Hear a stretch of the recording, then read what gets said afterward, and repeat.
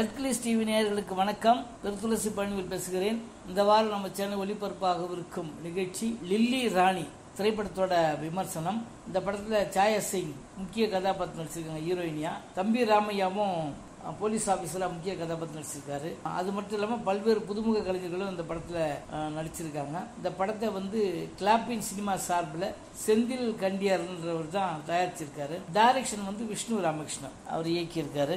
ஒரு வித்தியாசமான கதையை ட்ரை பண்ணியிருக்காங்க. என்ன கதை அப்படின்னா ஒரு பொண்ணு ஒரு குழந்தை கையில் வச்சிருக்கோம். அதான் ஓப்பனிங் அதான் சாயசி அவங்க கையில் ஒரு குழந்தை இருக்கும். அந்த குழந்தைக்கு டெஸ்ட் பண்ணும்போது கேன்சர் இருக்கும் அதுக்கு. அது ஒரு பெரிய வியாதி. அந்த வியாதி ஆப்ரேஷன் பண்ணி அதை சரி பண்ணிட முடியும்னு சொல்லியிருப்பாங்க.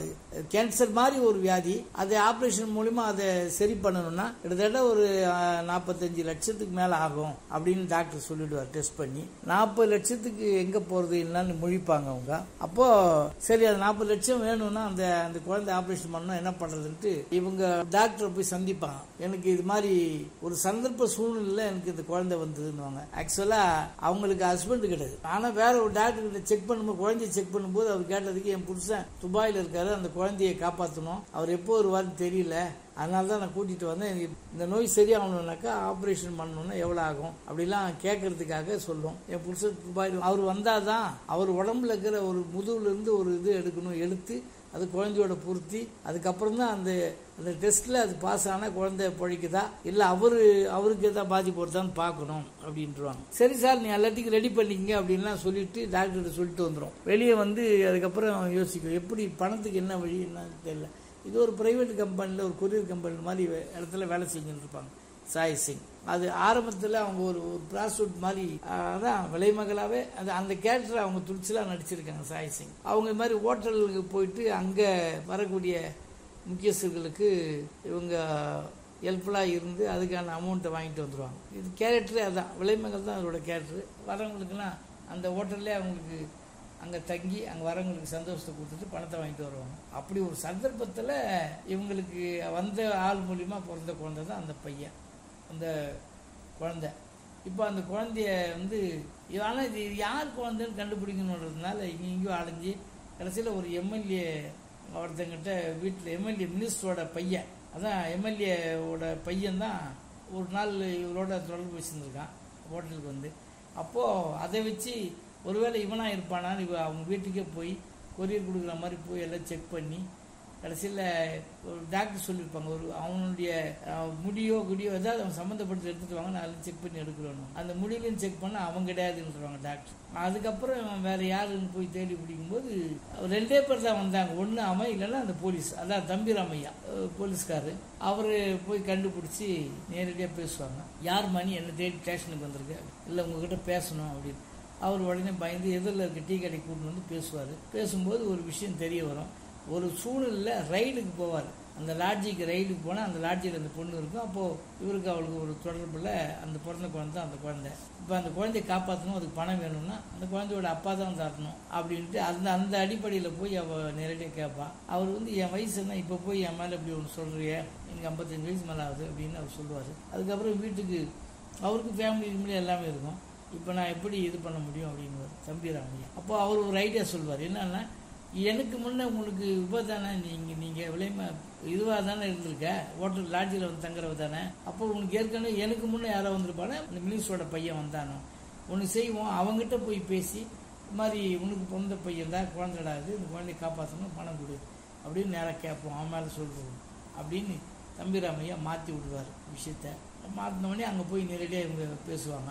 தம்பிராமையா வந்து என்ன சொல்லிடுவாருன்னா நான் அந்த பொண்ணோட அப்பா என் பொண்ணு பாதிக்கப்பட்டிருக்கு முன்னால் இப்போ அதுக்கு குழந்த குழந்தை பிறந்திருக்கு அந்த குழந்தைக்கு இப்போ உடம்பு சரியில்லை அதை காப்பாற்றணும்னா அமௌண்ட் வேணும். நீ இந்த அமௌண்ட்டு கொடு. இல்லைன்னா நாங்கள் உங்களை பற்றி வெளியே மினிஸ்டரோட பையனால நீ உங்களை பற்றி வெளியே சொல்லிவிடுவேன்னு பயமுறுத்தினவனே அவன் பயந்துக்குன்னு சரி நான் கொடுக்குறேன். என் போத விஷயத்துக்கெல்லாம் ரொம்ப அடிக்ட் போதை மருந்து அது இது பல இதில் பல ஊர் சுற்றினவன் அவன் கேரக்டர் அது. இது மாதிரி இவளை சந்தித்த மாதிரி பல பேர் சந்திச்சிருப்பான். அது மாதிரி கேரக்டர் அப்புறம் அவன் யோசிப்பான் யோசிச்சு இவன் புரிஞ்சுக்குவான். சரி இப்போ எனக்கு ஒரு குழந்தை இருக்கா?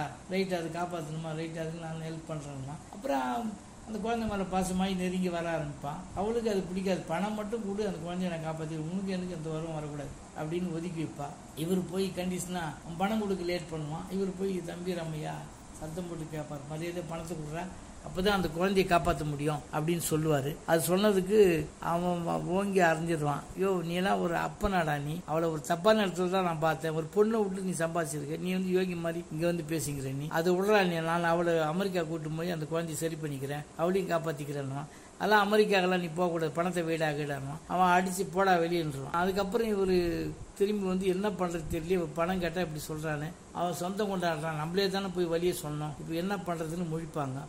இதுல என்ன மீதி கதைன்னா இந்த குழந்தையே காப்பாற்றணும் அதுக்கு நாற்பத்தஞ்சு லட்ச ரூபாய் தேவைப்படுது. அந்த படம் இருந்தால் தான் காப்பாற்ற முடியும். அதுக்காக தான் இவங்க பொய்யா இந்த குழந்தைக்கு உண்மையிலேயே அப்ப தம்பி ராமையா அவரு வயசானவர் அவருக்கு தனி ஃபேமிலி இருக்கு அவருக்கு எந்த வருமானமும் இல்லை. அவரால் இவ்வளோ பெரிய அமௌண்ட் கொடுக்க முடியாது. அதனால தான் அவர் திசை திருப்பி விட்டுருப்பாரு எனக்கு முன்னே எவன் வந்தானோ அவனுக்கு கேட்பான் அவன் பேர் சொல்லி போய் அவனை பயமுறுத்தி பிளாக்மெயில் பண்ணி பணத்தை கேட்டு வாங்கி இந்த குழந்தைய காப்பாற்றணும்னு முயற்சி பண்ணுவார். பார்த்தா அவன் என் குழந்தை தானே நான் காப்பாற்றிக்கிறேன் வெளிநாட்டுக்கிட்ட போகிறேன் நான் இறங்கி வந்தவனே ரெண்டு பேருமே அதிர்ச்சி ஆயிடுவாங்க அவன் போட்ட பிளான் சரியா வராது. என்னன்னா பணம் மட்டும் கொடுத்துட்டு ஒதுங்கிடுவான்னு நினைப்பாங்க. பணம் கொடுத்து ஒதுங்க மாட்டான். அது டென்ஷன் ஆகும். வீட்டுக்கு வர ஆரம்பிப்பான். சொந்தம் கொண்டாட ஆரம்பிப்பான். குழந்தைய போய் தங்கி இருக்கிற அந்த கிட்ஸ் இதுலயே போய் குழந்தைய தூக்க பார்ப்பான். அந்த குழந்தைய எனக்கு என் கூட அனுப்பி வைங்க. இப்போ கிளாட்டா பண்ணுவான்.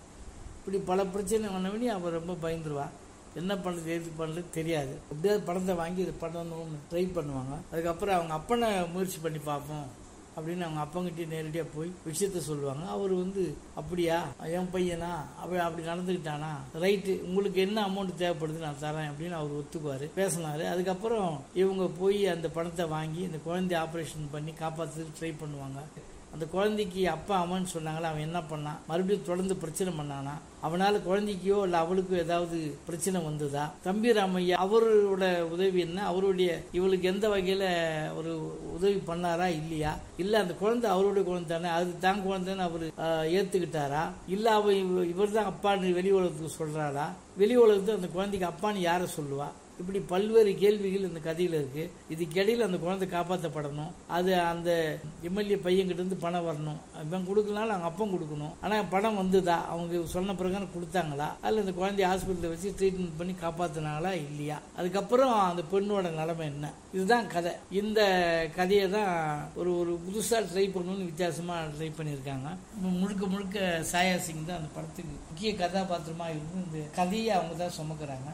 இதுக்கு அடுத்து சொல்லணுன்னா தம்பி ராமையா. அவ்வளோ சிறப்பாக அவரும் பண்ணியிருக்காரு. சாயசிங் நல்லா பண்ணியிருக்கேன் ஒரு வித்தியாசமான கதையோடு வித்தியாசமான திரைக்கதையோடு எடுக்கப்பட்டிருக்கு.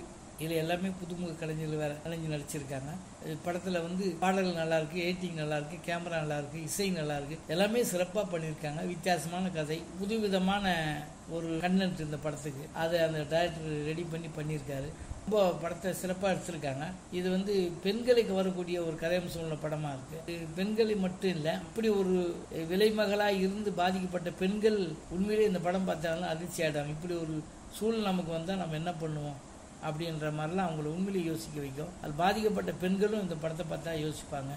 அதே மாதிரி தப்பு பண்ணுற இளைஞர்கள் பல்வேறு இடங்களுக்கு போகிற இளைஞர்கள் கூட இதை யோசிச்சாலாம் பயந்துருவாங்க. ஏன்னா நம்ம எங்கேயாவது போய் இந்த மாதிரி தப்பாகி கடைசியில் நாளைக்கு வந்து அவங்க நம்மள பிளாக்மெயில் பண்ணக்கூடாது அப்படிங்கிறதுக்கான ஒரு அவங்களுக்குலாம் ஒரு எச்சரிக்கையும் அந்த படம் அது மட்டும் இல்லாமல் ஒரு போலீஸ் ஆஃபீஸர் அவன் என்ன கடமை உண்டோ அவன் வேலையை தான் அம்பாகணும். அதை விட்டுட்டு வே வே அங்கே போய் மிஸ்யூஸ் பண்ண பார்த்தா தப்பாக நடக்க பார்த்தா அது என்ன விளைவு கொடுக்கும் அப்படிங்கிற ஒரு கருத்தையும் இந்த படம் இப்படி பல்வேறு விஷயங்களை உள்ளடக்கின ஒரு படமாக இந்த லில்லி ராணி படத்தை எடுத்திருக்காங்க. அந்த லில்லிங்கிறது அந்த குழந்தையோட பேர் ராணிங்கிறது சாயசிங்கோட பேர். இதை தான் அந்த படத்துக்கு டைட்டிலாக வச்சுருக்காங்க. வித்தியாசமான படமாக எடுத்திருக்காங்க. படம் எடுத்துக்கிட்ட கதையை சிறப்பாக எடுத்து முடிச்சிருக்காங்க. படம் நல்லபடியாக வந்திருக்கு. இது வித்தியாசமான கதையை பிடிச்ச ரசிகர்களுக்கு இந்த படம் பிடிக்கும். வேற மாதிரி ஒரு புதுவிதமான கதை. வழக்கமான பாணி இல்லாமல் வேற மாதிரி ஒரு கதை வேணும். புது புதுவிதமான கதையாக இருந்தால் ரசித்து பார்க்கக்கூடிய ரசிகர்களுக்கு இந்த படம் ரொம்ப பிடிக்கும். நிச்சயம் அது வித்தியாசமாக சிந்தனை உள்ளவர்களுக்கு கண்டிப்பாக அந்த படம் படத்தை வரவேற்பார்கள். படம் வரவேற்பெறும் அனைவரையும் கவரக்கூடிய படமாகவும் ஒட்டுமொத்த பெண்களையும் கவரக்கூடிய படமாகவும் இந்த படத்தை எடுத்திருக்காங்க. நன்றி வணக்கம். இந்த வாரம் வேறு ஒரு படத்தோட விமர்சனத்தோடு உங்களுக்கு சந்திக்கிறேன்.